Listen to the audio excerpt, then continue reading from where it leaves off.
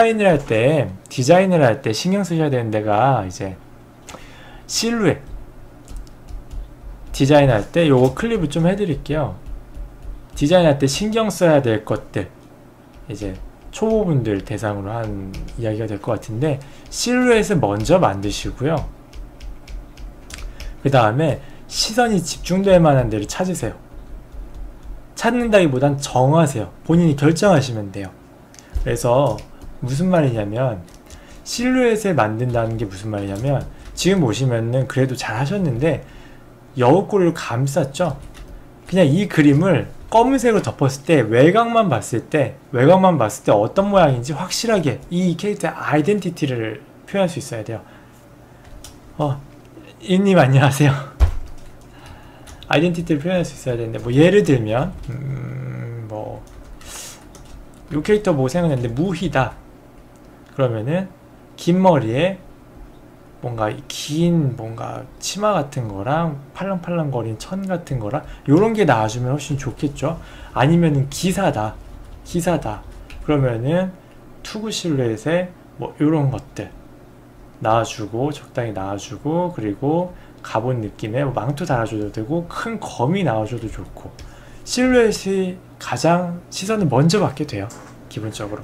그래서 항상 실루엣 먼저 작업을 해주시고 그 다음에가 이제 시선 집중인데 보시면은 뭐 제가 방금 여기다 이렇게 무늬 이렇게 노란 무늬 하고 단추색이 달았죠. 근데 여기 저기 여기 저기 막 달다 보면은 그냥 산만해지기만 하지 눈길이 어디로 가지를 않아요 여러분들이 아무리 그래도 뭔가 느낌이 안 나고 시선은 안 가고 산만해 보이고 미완성 같고 하는 이유가 대부분은 밀도 조절, 시선 집중되는 데다가 밀도를 몰아주고 풀어주고 해야 되는데 계속 비슷한 밀도를 계속 유지하기 때문에 모든 부위에. 그래서 시선이 계속 흩어져서 그래요.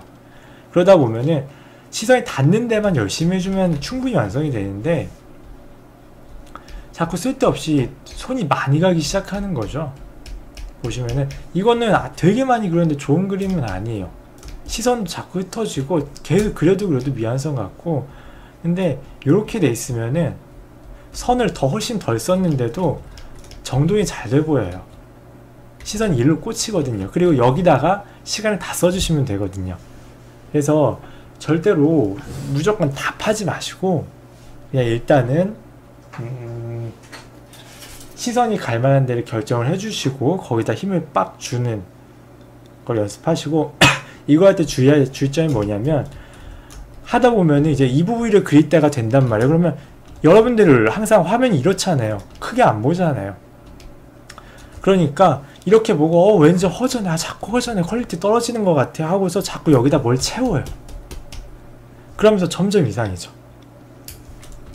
그러면서 점점 산만해지고 이상해지고 완성은 안 되고 디자인도 어색하고 절대로 눈에 허전하다고 채우는 건 정말 최악의 습관이고요. 진짜 최악의 습관이고요. 전체적인 계산을 하시고 나서 모아줄 때는 확실히 모아주고 뺄 때는 빼세요. 계산에 의해서 자꾸 대충 때려 맞추기식 그림 그리지 마세요. 가장 최악이라고 저는 얘기해요. 때려 맞추기식 그림. 감으로 대충 대충 왠지 그런 것 같아서 하는 거 막 이런 거. 아무런 계산이 없는 그림. 잘 나올 수가 없어요. 죽었다 깨어나도.